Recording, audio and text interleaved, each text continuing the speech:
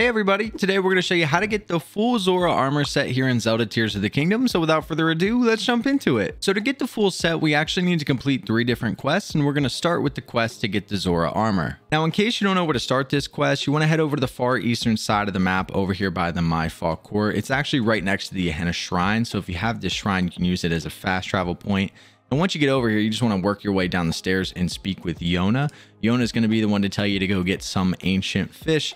Keep in mind, you'll need to complete the sludge covered statue main story quest to be able to even do this. So uh, but this is where you're going to start it. Go ahead and speak with her. And once you do, we'll go to our next location. So our next location is going to be the Great Sky Island. And we're going to go to the northwestern side where this pond is. I've put a star here to make it a little easier to see the location. It'll be the one with the bridge, but we're currently standing on the bridge now. All you want to do is look in the water. On both sides, you'll see these yellow fish.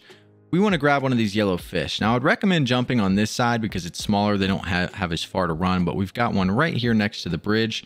Uh, so I'm going to go ahead and jump in and grab this guy. And you guys can see he immediately takes off. If you get close to him though, you can press A like that and you want to get that ancient fish.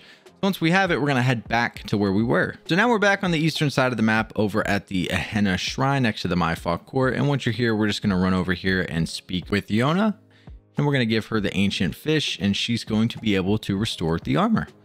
We'll run right back over here to her and start the dialogue with her. And once you have the option, just click here you go and give her the fish. And after a little bit more dialogue, she's going to give you a little cutscene and you will have completed the quest. And you'll be rewarded with the Zora armor. Now that you've got the armor, we're now going to do the quest to get the helm. Now keep in mind, you'll want to have the water temple done before going for this helm. Uh, I think there's an alternate way that we'll talk about here in a second, but make your way over to Zora's domain and up at the top where the king is, if you go just to the left of him, there's going to be two people over here having a conversation. We want to speak with them. They're going to give us a bunch of dialogue about finding the Zora helm. And once they're finished speaking, that's what's going to start the side quest. You'll see we talk to them, the never-ending lecture starts. And now we're going to fast travel over to the shrine east of us, the Ihen-a Shrine. If you don't have this, just work your way over here right next to the Mipha Court. We just want to be in this area and you'll see why. So when we teleport here, you'll see the giant waterfall that's falling out of the sky. We want to work our way up that.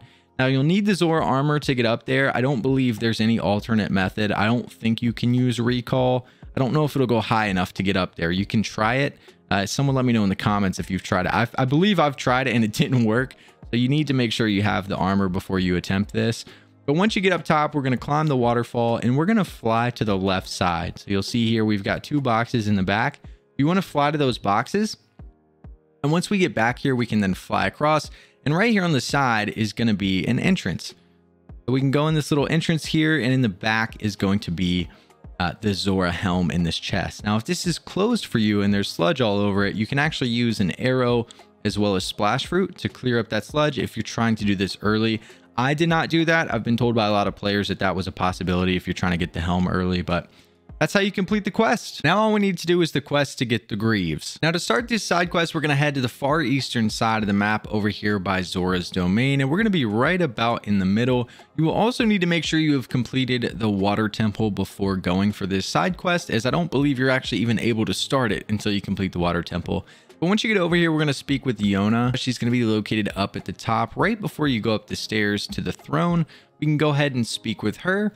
She's going to give us a bunch of dialogue about finding the Zora Greaves. And once she's finished giving you the dialogue, you'll then be able to start the quest. And once you're finished speaking with Yona, we're to head southeast over here to the East Reservoir Lake. And once you get over here, there'll be a massive whirlpool in the middle. You can't really miss it, but we're to jump inside of that. So we'll go ahead and jump in the whirlpool. It doesn't matter where you land. Either way, you're to get pulled under.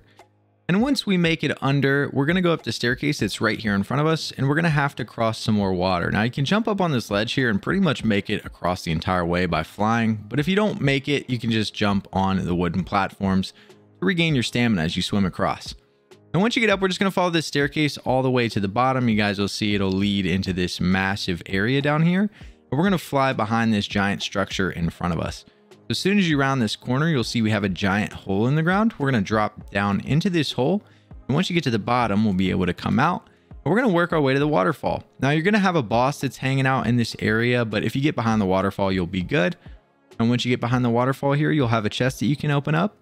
Inside will be the Zora Greaves, and you will have completed the side quest. But if you guys have any other questions on how to get this done, make sure to leave them down in the comment section below, and we'll see you guys in the next video.